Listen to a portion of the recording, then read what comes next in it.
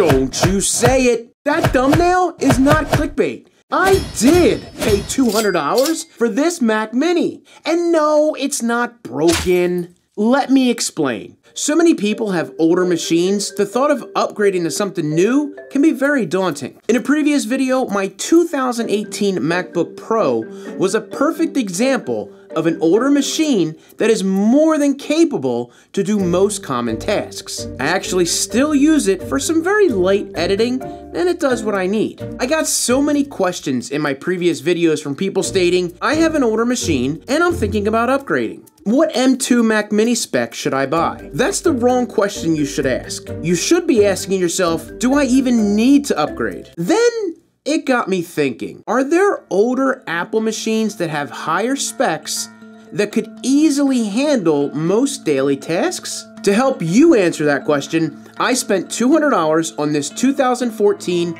Mac Mini to see what it can do. Now, I know buying on eBay can be a little bit scary sometimes, but the folks that I bought this from are named Omaha Blue, and they were super helpful. The first one that came out was just an i5, sent it back, and they sent out the i7. In fact, they sent the i7 out before the i5 even got back. So thank you guys very much. I'll leave their link down below. It's packed with a 3.0 gigahertz Core i7, 16 gigs of RAM, and 256 gigs of SSD. Right off the bat, an M2 Mac Mini would be $800 with 16 gigs of RAM. Yes, I totally understand that we're comparing apples to oranges here. The tech is newer, but the processor with 16 gigs of RAM on this old machine is pretty darn good. Now the one downside with this particular model is the RAM is not upgradable. Thank you Apple. You can't deny the fact that the Apple silicone chip has certainly made all Macs incredibly powerful machines for bigger tasks like editing videos,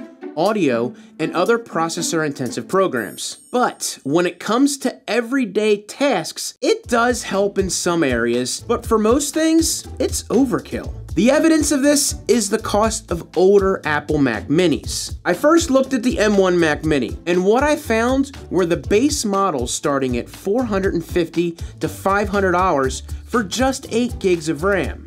I mean, they are a little less than new machines, but at this point, I'm not sure I would say to get this over a new M2 machine. You get a new machine with warranty and the option to get Apple Care if you want. You also might get a couple more years out of it than the M1.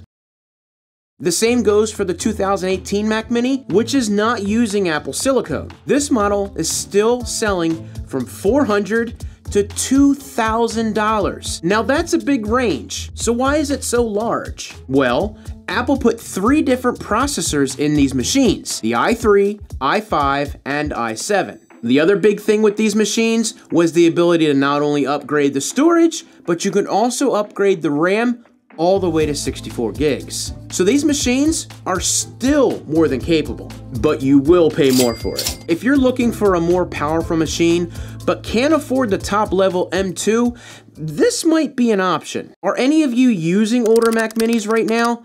Go ahead and leave a comment down below and let me know. Now I am using a 34 inch LG ultrawide monitor with this system. I wanted to try that ultrawide aspect for more room instead of getting two monitors. And don't worry, I didn't buy a $500 monitor for a $200 system. I am going to be using it for something else down the road. I am happy with the performance and don't have any issues using the HDMI port to hook it up. Now this machine does have two Thunderbolt 2 display ports, but newer machines don't usually have that as part of their ports these days. I might have to try to see if I can track down a Thunderbolt 2 to HDMI adapter to see if I can get the image any better on this machine. Now, I'm sure some of you are way smarter than me and you're watching this thinking either he has no clue that'll never work or, yeah, that's easy, just get this, this, and this. Could you please help me by leaving a comment down below? I would appreciate it. Okay, so the real info. I've been using this machine for a few days for all of my research, scripts, watching videos, and checking emails. I was pleasantly surprised how well this machine has been performing. I haven't had any major issues that stop me from doing any of my work. It does take apps a couple more bounces to open up, but that's to be expected, but they aren't drastically slower when I compare it to my Mac Studio. Yeah, that's a bit of overkill, but this Mac Studio better handle the daily tasks with no issues and faster. But when people tell me they want to buy a new M2 for basic stuff, with minimal strenuous processing, an older machine might actually be the option, and you can save a ton of money. I even went so far as to put Photoshop on this machine and do all of my thumbnails just to give it a little bit of a push. For example, I downloaded some free text, and the first time I went to select that text, the list kind of like stuttered for a second, but since then, it's been fine. I have multiple layers open and going for this video's thumbnail, and it worked great. Now, this shouldn't be a problem, but there was no issues exporting. But I didn't stop there. I decided to push this machine even more. On Chrome, I have three long YouTube videos playing. I skipped ahead on one video and it catches right up and starts playing. I have over 35 tabs open right now, and I'm using Photoshop. The machine specs are filling up as you can see here. Lots of Chrome usage. The temps are high, but they are within normal. The machine's fans are running, but listen to how quiet it is.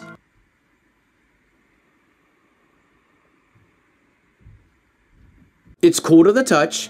The back near the ports are a little warm. The fans have been louder doing other things, and if that's something that you're concerned about, this might not be the machine for you. I jumped on Amazon to look around, and you can see it is working, and it does have some frame loss. Now, let's say that you don't use Photoshop, nor do you have 35 plus tabs open. Now, the temperature is warm right now because I just closed all those windows and started shooting this again. Here I am opening up Windows again, and you can see that it's way smoother. Now, you might be watching one YouTube video and go back to shopping on Amazon, or maybe you want to check email it all works and moves great. On a side note, I jumped on my Mac Studio, which I hadn't used today, and its sitting temperature is 109 degrees Fahrenheit. I don't know how much cooler the Mac Mini would run anyway, but that's just kind of how Apple does it. Going back to the initial reason of this video, which was, what do you really need in a machine so it works? It's just like buying a sports car,